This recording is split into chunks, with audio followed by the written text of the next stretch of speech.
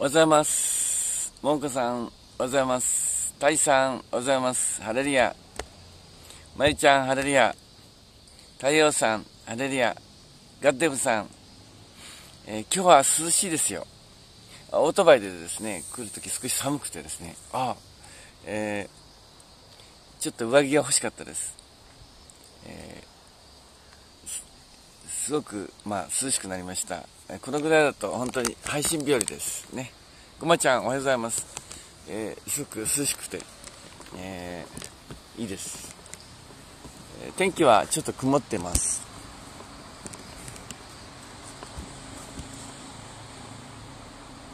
昨日はですね、夜、大雨が降りまして、えーものすごい大雨、そして雷が落ちました。ね、雷がすごく夜何時頃でしょうか？すごくて、それ近くに落ちたんですね。自宅の近くに落ちてですね、ドーンって言ってですね、娘の一人はですね、なんかこう、あの、雷の光で暑かったって言いますけど、本当かどうかわかりませんが、あんまり近くに雷が落ちてですね、顔が熱かったって言って冷やしてましたけど、本当かどうかわかりませんが、えーすごい、すごい近くにドーンと落ちましたね。えールーさんおはようございます。眠いのさん、アンリビさん、えー都内はまだ雨降ってる。ああ、そうですか。ウルトラさん、ウルトラマンさん、おはようございます。ユウさん、えー実は皆さん、実はですね、えーデビット・テイラー氏の集会の後は、大雨が降るということがありまして、で、えー昨日、おとといですね、えーそろそろ雨が降るかな、雨が降るかなと思ってたんです。でも天気予報を見たら、曇りなんですね。おかしいな今回雨が降らないのかなと思ってですね、えー昨日は寝寝たんです。そしたらなんと、えー真夜中に雨がドバーって降って、で、大雨だけじゃなくて、雷もあって、えーまさにですね、そのデビット・テイラー集会の後の大雨というのは、今年も当たりました。えー今年も当たりました。本当にびっくりです。それはどういうことかというと、やはり、その、えーデビット・テラー集会によってこう地域がね地域が変えられる地域が霊的な霊的な状況が変わるという意味なんですですからデビット・テラー集会、えーまあ、3日間3日間ありましたけど4日間と言ってもいいんですが3日間ありましたけどそれによって東京の状況が変わったと信じますまたは日本の状況が変わったと信じます、えー先週1週間、霊的戦いをしました。霊的戦いをしました。その、えー結果が、結果の一つの印、その霊的な勝利、霊的なあ日本の勝利の一つの印が昨日の大雨だと思います。ですからよかったです。神様は、えーその印を見せてくれるんですね。印を見せてくれて、あなた方の霊的戦い頑張ったよ。あなた方は勝利したよ。日本は勝利したよと、えー神様がですね、励ましてくれてると思います。ですからぜひ皆さん、喜んでください。ね、喜んでください。えー確かに、霊的戦い、勝利が来たのですね。霊的戦い、勝利が来て、えーこれからますます霊的な戦いは続きますけど、霊的戦いは続きますが、勝利から勝利、勝利から勝利、霊的戦い、勝利から勝利、そうです、ウルトラマンさん、リバイバルの始まり、リバイバルの始まり、えー皆さん、えー期待しましょう。何かが起こります。何かが起こります。日本に何かが起こります。えー霊的な戦いが始まります。いや、もう始まってます。しかし、勝利から勝利。イエス・キリストを信じる者にとって、信仰が勝利です。ですから、私たちが信仰をしっかり持つならば、信仰によって歩むならば、勝利から勝利です。えーそうです。 Jesus reigns ですね。 Jesus reigns。勝利から勝利です。えー期待しましょう。私たちは、えー、真理を知ることが許されたんです。多くの人は、えー、そのことを知らないで、え、生活の中で苦しんでいます。多くの人は光を持っていません。しかし私たちは、えイエス・キリストに会って、真理を知りました。おはようございます。私たちはこの世がどうなるか、え知ることができたんです。あやぽんさんおはようございます。日本人の99%の人は、え何も知らないのです、えこれからどうなるのか知らないのです。何が起きるか知らないのです。自分の永遠の、え、行き先を知らないのです。しかし私たちは知っているんです。私たちは知っているんです。私たちは、今終わりの時代で、今、神様が、この、この世界を、裁きに来ること、そしてイエス・キリストを信じる者を救いに来ること、そのことを知っているのです。この世は、裁かれてしまうのです。人間の罪、神様に逆らう罪が放置、放置されないということです。納豆さん、おはようございます。この世界は、この世界を作った神様のものであり、人間がそれをですね、えー、認めない人間が神を認めない、えー、この世界の、えー、持ち主、主権者を認めないということが、どれほど大きな罪なのか、どれほど大きな罪なのか、多くの人は知らないのです。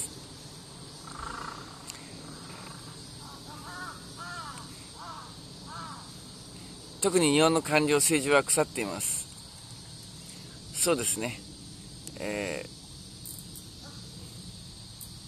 本来は、本来はイエス様が支配するべき世界、それを悪魔が支配しています。えー、信仰のない政治家は、信仰のない政治家は悪魔の支配を表しています。えー、欲とお金のためにやっている。本当の愛が動機で、愛が動機の政治ではなく、正義が動機の政治ではなく、欲とお金の動機でやっています。それを隠してるに過ぎません。姫さん、おはようございます。私たちはそれを見抜くことができます。しかし、えー、99%の、えー、日本人の方々は、えー、イエス様を知らないために、その政治家を見抜くことができません。騙されて、自分の立場に都合のいい政治家を選んでいるに過ぎません。それは結局のところ、日本の、日本を悪くする選択です。今日のタイトルは、信仰は地動説ということです。中世のガリレオ・ガリレイの時代の教会は大きな間違いを犯して、え、あれは何でしょうかね、ギリシャ、ギリシャ哲学かなんかの、えー、天動説をとってました。え私たちはね、その、自分の目で見れば確かに太陽がね、えー、この太陽が東から出て西に、えー、沈む。そういうことを体験してます。それは事実です。ね。太陽が東から出て西に沈む。これは事実ですが、しかしだからといって、えー、その太陽は、えー、地球の周りを回っているように見えるだけであって、えー、事実は反対です。ね、事実は、えー、地球が太陽の周りを回っている。これはもう、えー、皆さん信じてると思いますし、わかる、わかると思います。しかし、えー、その、まだ、え望遠鏡がない時代、ガリレオはですね、望遠鏡を作ってですね、ガリレオが作ったのかな、望遠鏡を作って観測してですね、えこれはあ地球が回ってるんだ。地球が太陽の周りを回ってるんだということを発見しました。えガリレオももちろんクリスチャンですよ。えー、初代、あの、科学の始まりはクリスチャンが作ったんですね。皆さんおはようございます。えーコペルニクスやガリレオは神が宇宙を作ったんだから。宇宙は法則に満ちている。天体は法則に従って動いているということを信じました。それは神が作ったということが前提です。ですからその法則を発見しようと思って観測をしました。望遠鏡を作って観測しました。その結果地球が太陽の周りを回っているということをガリレオは発見しました。しかし教会は、えー、教会はそれを信じませんでした。これはですね皆さん、えー、天動説。これがですね罪の世界自己中の世界自分中心の世界人間中心の世界を表します。この世はそういう世界です。この世は人間中心。自分中心。自己中。自分中心。これがですねこの世です。それは罪だ。罪なんです。つまりえ天動説は罪だということです。多くの人は天動説で生きています。自分中心で生きています。人間中心で生きています。それが罪なんですね。M さんおはようございます。しかし私たちは地球が太陽の周りを回っている。地球が太陽の周りを回っているということが分かりました。それはどういう意味ですか？太陽は何ですか？太陽は神様を表します。地球は人間を表します、えー、人間はですね神様によって生かされている。神様の、えー、まあ、太陽で言えば熱と光。太陽から来る熱と光で光合成によって、えー、植物が、え、炭水化物を作り、え、人間の食べ物になり動物の食べ物になっています。つまり人間は太陽の光と熱によって生かされているわけです、え太陽がなければ人間は生きることができません。太陽がなければ地球は凍ってしまうでしょう。地球が非常に微妙ないい感覚で太陽の周りを回ってるということはこれは、えー、偶然ではありません。これは神様の設計です。ちょっとでも太陽に近ければ、えー、金星のよ金星のように熱くなります。もし地球が少しでも太陽より遠くなれば、えー、火星のように寒くなります。今あ地球が非常に人類に、えー、とってとてもいい環境であるのは太陽と地球の微妙な距離。これはまさに奇跡の距離なんですね。奇跡の距離なんです。そして皆さん、えー、その地球が1回転1日1回転自転している。そして、えー、公転している太陽の周りを1年間で1回公転している。そして春夏秋冬がある。これも神様の設計です。偶然ではないんです。こんな素晴らしい設計はないのです、えー、地球が1日1回自転しているために昼と夜があります。それは、えー、人間人間で言えば夜寝ることができます。人間は休息が必要です。休息するためにはえー、夜が必要です、えつまり、え暗くなり静かにならなければ眠ることができません。これは偶然ではないのです。神様が人間のために、えー、素晴らしい自転と好転を与えました。春夏秋冬も素晴らしいと思います。それで大事なことは私たちは自分中心で生きてはいけない。自分中心で生きてはいけない。神様を中心に生きなければならない。神様の神様によって生かされている。私たちが生きているのは自分の力ではないんだ。神の力で生きているんだ。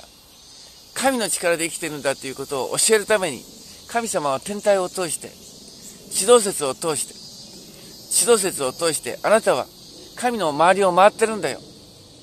地球が太陽の周りを回るようにあなた方は神の周りを回ってるんだよ。神様に生かされてるんだよ。神様の恩恵を受けてるんだよ。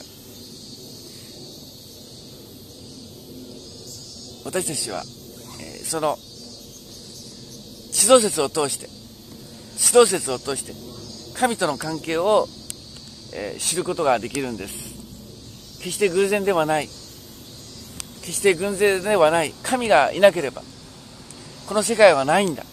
神様がいなければこの神が作ったものは一体どこから来たのか。こんな、えー、すごい世界。生物で言えば遺伝子。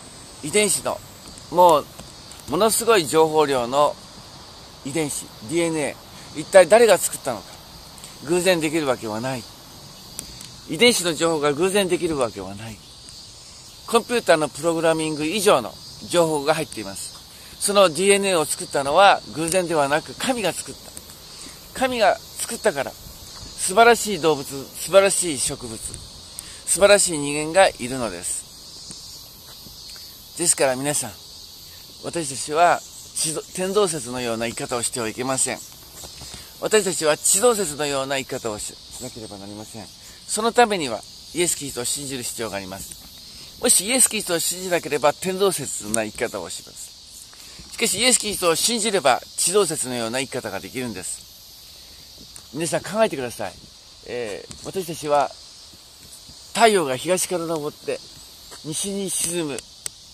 これをですね、えー、全く発想の転換で太陽の周りを地球が回るということは人間的には発想が難しいと思いませんか、えー、ガリレオが望遠鏡で初めてそれをできましたけど私たち一般的な人間がね、えー、太陽は東から昇ってるじゃないか。太陽は西に沈むじゃないか、えー、太陽が地球の周りを回ってるじゃないかこれはどう考えてもそう見えるわけですしかしそうではなく地球が太陽の周りを回ってるという、そういう見方は普通はできません。なかなかできません。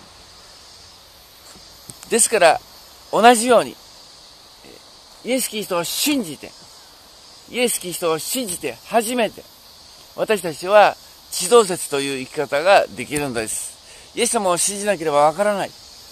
イエス様を信じなければ、えー、私たちは神様中心の生きなければならないということがわからない。もちろん地動説は科学を学べばわかりますよ。えー、物理を学べば、天文学を学べば、地動説はわかるかもしれません。しかし、イエス・キリストを信じなければ、本当の地動説的な生き方、地動説的な生き方ができないのです。えー、罪というのは、えー、天動説なんです。だから、罪を許されるためにはイエス・キリストを信じて、イエス・キリストを信じて初めて天動説という考え方が、えー、生き方が悪いということが分かり、初めて、イエス様の十字架によって、イエス様の十字架によって初めて地動説的な生き方ができるんです。皆さん、ぜひ、ぜひ皆さん、えー、天動説人生から、地動説人生になってください。えー、イエス様を信じなければ、えー、その天動説という罪から逃れることはできません。天動説という、ねえー、考え方から脱出できません。自己中から、え自己中から変わることができないんです。イエス様を信じて、イエス様を信じて初めて、えー指導説的な生き方ができるのです。それは神中心、イエス様中心の生き方ができるということです。皆さんは自分中心ではありませんか？皆さんは自分中心の生き方はしてませんか？それは天動説ですよ。天動、天動説です。それは正しくないのです。それは、えー、それは神の恩恵を受けることができません。えー、地動説的に生きて、神様中心、イエス様中心に生きて初めて神の恩恵を受けることができるんです。それでは明石タイム行きましょう。えー、イエス様を信じて、えー、自己中から、自己中から解放された。イエス様を信じてから自分中心ではなくなった。イエス様を信じてから、えー、利己的ではなくなった。イエス様を信じてから神様中心になった。イエス様のために生きるようになった。イエス様を中心に生きるようになった。自分中心ではない。イエス様を中心に生きるようになった証、スタート。スタート。スタート。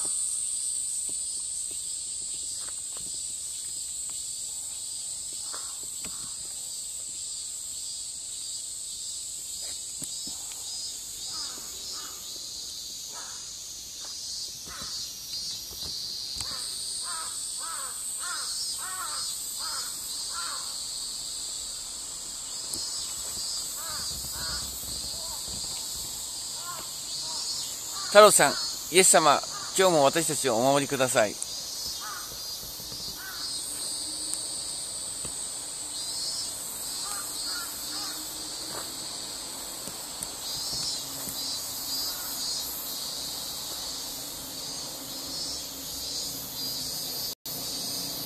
たけ、たけさん。はい。キリストの関係の人です。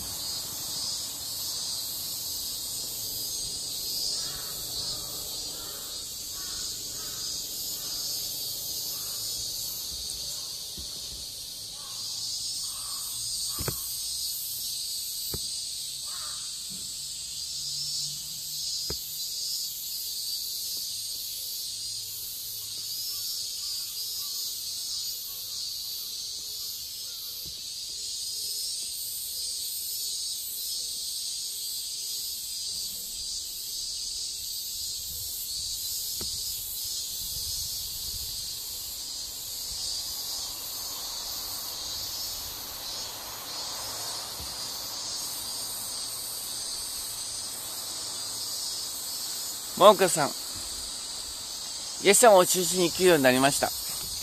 イエス様がナンバーワンです。肉のためではなく、イエス様の栄光のために生きたいです。肉のためではなく、イエス様の栄光のために生きたい。言い換えれば、自分のためではなく、イエス様のために生きる。自分のためではなく、イエス様のために生きる。それが人生です。自分のために生きるのが天動説。イエス様のために生きるのが地動説。多くの人は天動説。私たちは地動説で生きなければなりません。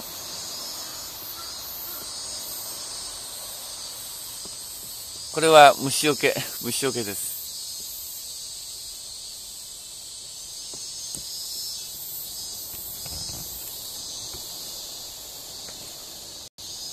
日本の治安は年々悪化してます。うんどうでしょうか。大さん、イエス様の愛ばかりいただき、まだお返しできてません。そんなことないですよ。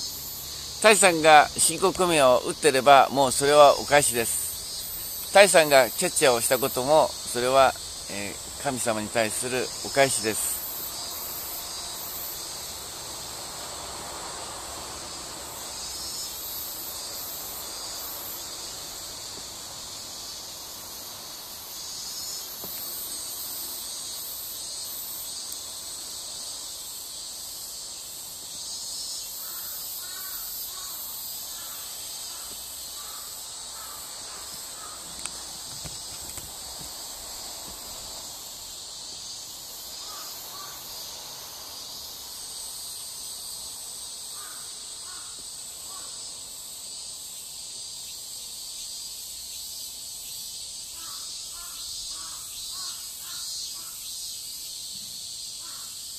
はい、赤字、あまりない。赤字、だいぶ減って、最近赤字減ってきて、減ってきています。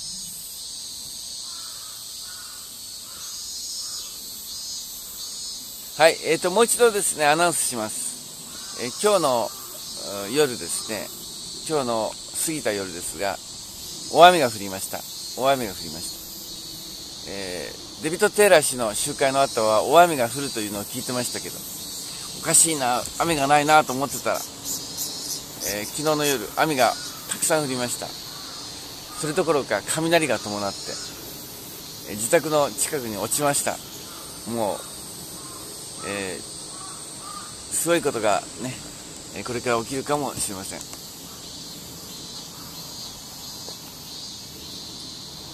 ウルトラマンさん十字架の前にお供えは必要でしょうか？いえいえいえ。十字架が、十字架がえー、その神さ神様に対するなだめの供え物なんです十字架が本当のなだめの供え物なんです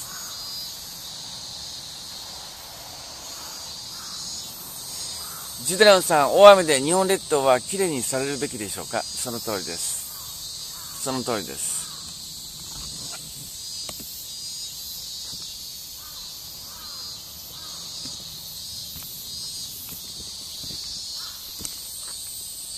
それではですね、えっと、ファイナルメッセージ、早いかな？ちょっと早い。もうちょっと証が欲しいですね。もうかさん、えー、こちらも、大雨で雷が鳴っていました。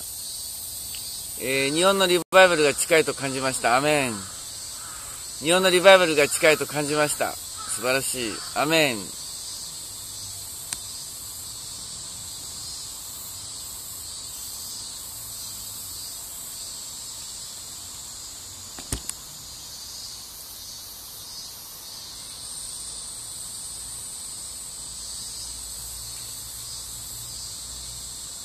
それでは、えっ、ー、と、証がないので、えー、ファイナルメッセージいきましょう。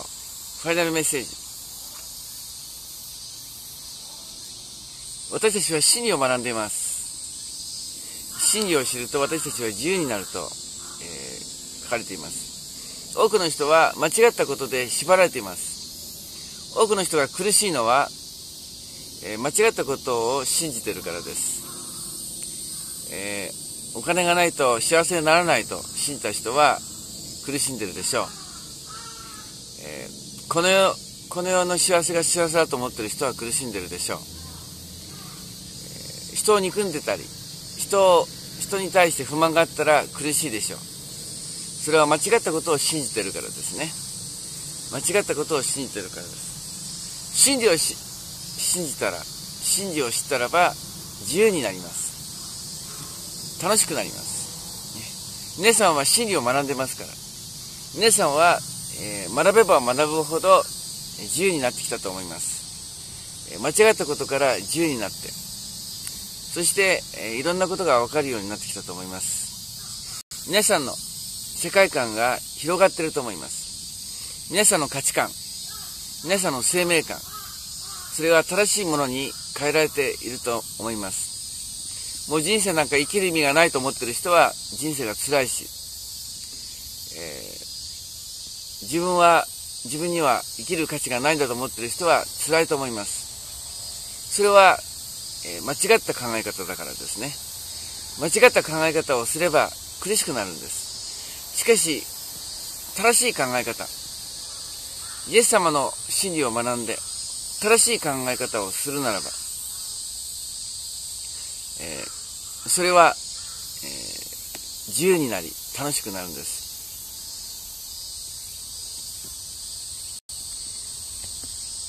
太郎さん、聖書の神様が書かれている部分の一節を教えてください。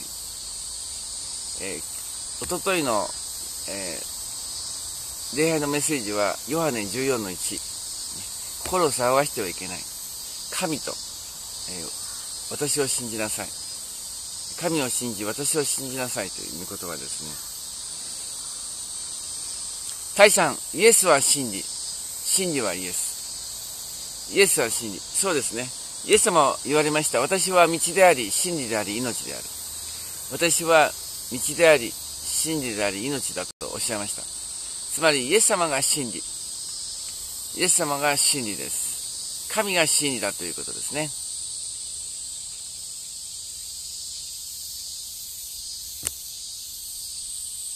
私たちは、え、真理を知ったんです。私はですね、クリスチャンになる前は真理を知りたくて、えー、物理を学んだり、哲学を学んだり、えー、いろんな宗教を巡りもしました。えー、真理巡り、真理を探し、探し求め、あ青い、青い鳥を探してました。えー、しかし最後の最後、最後の最後、聖書に行き着き、そして、えー、聖書の中に私は真理だと書いてある言葉に接したとき、私は真理を見つけました。イエス様が真理だということが分かったんです。イエス様が真理だということが分かったんです。それはものすごい喜びです。多くの人はまだ真理が分かりません。まだ迷っています。まだ、えー、迷える子羊。人生を迷ってます。多くの人は人生を迷っています。えー、しかし、えー、イエス様を知ったとき、真理を知ることができます。大さん、あなた方は心を騒がしてはなりません。神を信じ、また私を信じなさい。シリマルさん、神様とイエス様の違い。私は人間ですえ。神様とイエス様。聖書によるとえ、私と父は一つである。私と父は一つであると言われます。えー、難しいことかもしれません。しかし、神、イエス様は神の似姿とも書かれています。イエス様は神の似姿、神の現れとも書かれています。ヨハネ14の6、イエスは彼に言われた、私が道であり、真理であり、命なのです。私を通してでなければ誰一人、死の身元に来ることはありません。イエス様を信じて、初めて神を信じることができます。イエス様を信じて、初めて神を知ることができるということですね。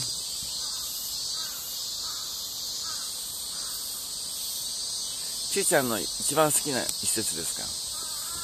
えー、私の好きなのは、えー、心を尽くして思いを尽くして力を尽くして主なる神を愛せよ。あなたの隣人を自分のように愛せよ。えー、この御言葉が好きですね。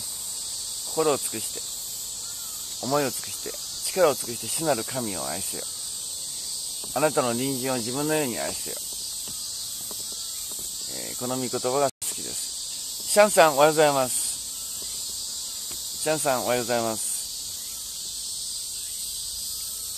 えー、妻子ある人を愛してしまいました。どうすればいいですか？わ、えー、かりましょう。わかりましょう。それは、え神様が、え喜ばない関係です。その妻子に対して、えー、大きな罪を犯すでしょう、えー、別れましょう。聖書には地獄にはどんなところだと書いてありますか？宇治が湧いてですね火の池だと書いてありますね。火の池。永遠の苦しみ。永遠の苦しみって書いてあります。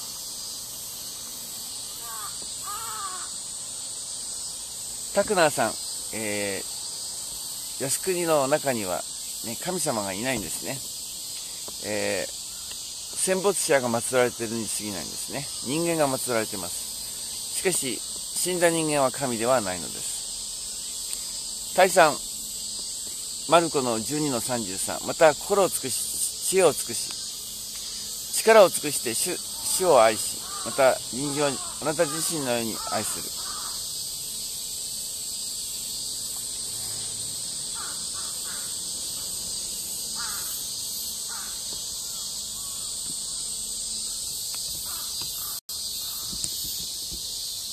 不倫はね、やはり、えー、自分中心だと、ね、不倫をしてしまいます。しかし、神様中心だったら、不倫は良くないとわかるんですね。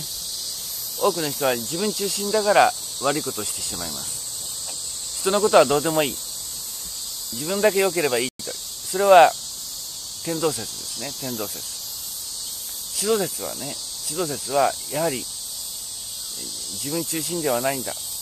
神様が正しいということをしよう。神様が正しいということをしよう。自分にとってどうではなくて、神様にとってどうか。神様にとってどうか。それが大事だということを、えー、そうですね。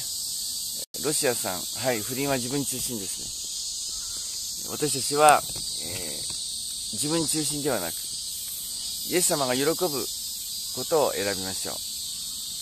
イエス様が喜ぶことを選ぶ。それが正しい道。それが祝福される道。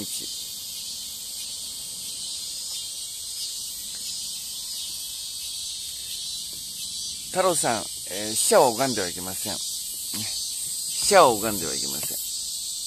えー、その気持ちはわかります。気持ちはわかりますけど、その気持ちを利用されて、えー、死者崇拝させられているんです。サラさん、おはようございます。おはようございます。それでは、丸きをしましょう。今日の放送を聞いて、ああ、私は、そう言われてみれば、天動説だった。自分中心だった。自分の、自分の欲が一番だった。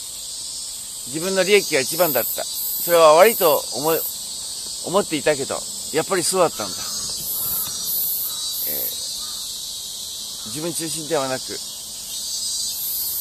地動説のように、神様中心の生き方をしたい。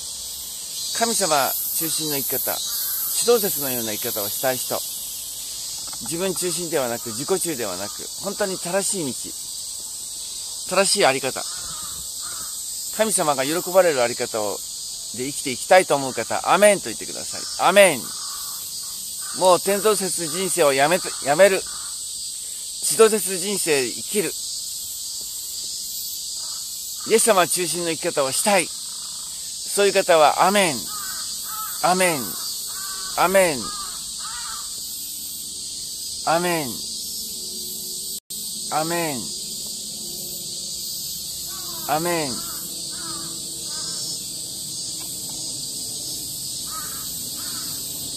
アメン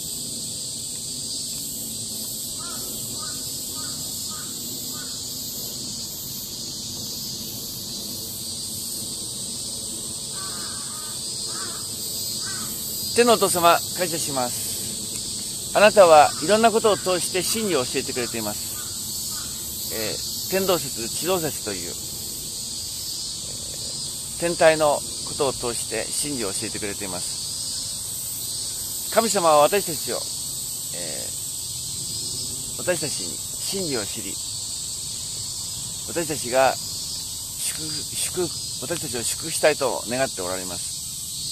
今、アーメンという方々が、イエス・キリストを信じて、生き方が天動説から地動説になり、自分中心からイエス様中心の生き方となりますように。それが正しい道、人間の道です。どうぞ、イエス様、えー、リスナーの人たちに光を当てて、もっともっと真理がわかるようにしてください。真理が真理を悟り、真理のうちを歩むようにしてください。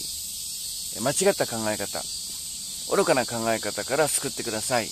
彼らを救ってください。えー、ますます光に、光の中に入ることができますように、いろんなものが見えてきますように。世界が見えますように、人生が見えますように、自分の心が見えますように、人間関係が見えますように、悪いことと正しいことが見えますように、悪いことと正しいことが見えますように、どうぞ祝福してください。祝福してください。リスナーを祝福してください。えもっともっと命がみなぎりますよ。神の命がみなぎりますよ。神の喜びがみなぎりますよ。神の希望がみなぎりますよ。リスナーを祝福してください。イエス様の皆によってお祈りします。アーメン。アーメン。アーメン。アーメン。ハレルヤ、アーメン。皆さん、私たちは、えー、希望があります。素晴らしい未来があります。一緒に歩みましょう。イエス様と共に、イエス様の教えの中で、信仰で歩みましょう。神の愛で歩みましょう。素晴らしい未来があります。素晴らしい未来があります。素晴らしい未来があります。一緒に会いましょう。それではまた夜7時にお会いしましょう。シャローム。ありがとうございました。良い一日を、良い一日を。ありがとうございました。シャローム。シャローム。ロシアさんよかったですね。アメン、アメン、アメン。